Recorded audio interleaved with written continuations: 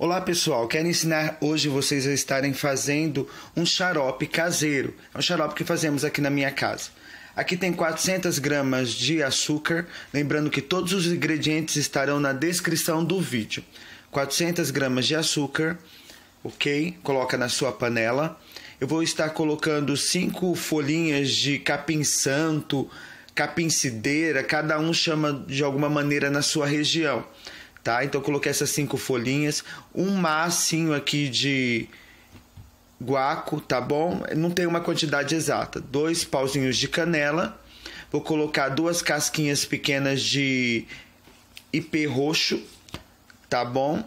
Eu coloco, se você tiver aí, você coloca, se não tiver, não coloque.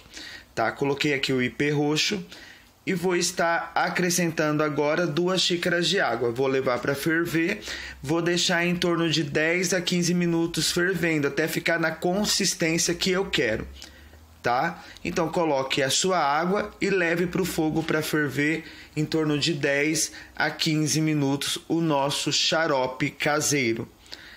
OK? Então agora eu vou mostrar para vocês como ficou o nosso xarope. Olha, ele ficou assim, tá? Deixei 10 minutos, se você quiser você deixa mais tempo. Aí você deixa esfriar um pouco, passa ele pela peneira, coloca num, numa vasilhinha limpa, esterilizada e você pode estar aí consumindo na sua casa, tá bom, gente? É uma ideia, é uma dica, é coisas aqui que nós fazemos no interior e, e tradição de família de fazer xarope caseiro e ele é muito bom. Aqui em casa nós sempre estamos fazendo, utilizando dele ok? Ó, ele rendeu tudo isso daqui e peço a você que curta, se inscreva no canal e que Deus abençoe sua vida, ok? Tchau, tchau, gente.